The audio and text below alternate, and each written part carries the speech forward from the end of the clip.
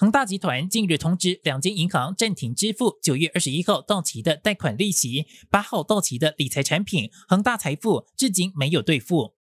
有员工在网络上透露，恒大百分之九十九的员工都买了恒大财富产品，因为之前都有任务的，还有同事贷款买的。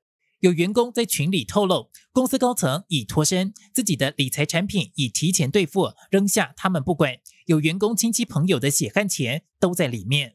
十号，深圳恒大总部大楼聚集大批员工维权，有人在大楼门口举牌，上面写着“恒大还我血汗钱，恒大坑害职员工”。嗯，啊大家都在维权了，这么多人都在维权，好多。这个只是凤毛麟角的，就是其实其中很小的一部分的人都在维权。这是我很大的。五十一楼的办公室，投了钱都已经挤兑出来了，他能给我们解决问题吗？他都已经给把钱给了地产了，我们要求看资金流向。恒大财富就是给恒大地产去融资，收大家心情高。还有聚集在一楼大厅讨钱，一名戴棒球帽的女子激动到欲跳楼被阻止。十号，记者拨打恒大客服电话已不通，有受害人打电话给银保监等政府部门，都相互推诿。